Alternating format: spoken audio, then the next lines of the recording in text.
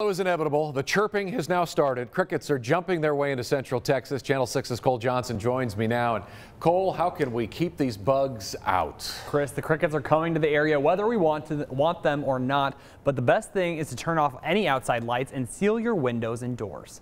It's the sound haunting central Texans this time of year. It's almost plague worthy in a sense. Uh, there are some uh, things that we've seen that you still want to, you know, think about. you see one, that's nothing.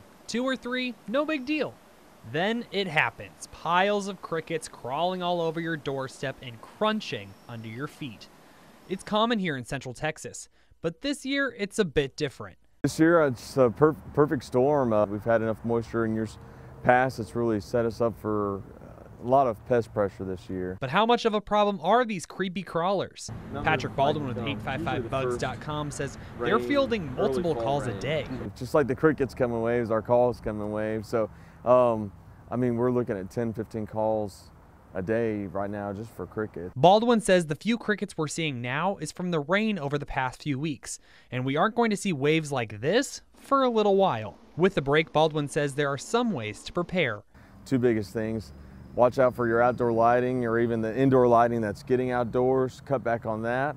Uh, number two, make sure that your doors and windowsills are sealed to prevent them from coming in. As the wait continues, take the time to enjoy the chirping. Now, if those other tricks don't work for you, there are traps you can use to get rid of the crickets in your area. Chris?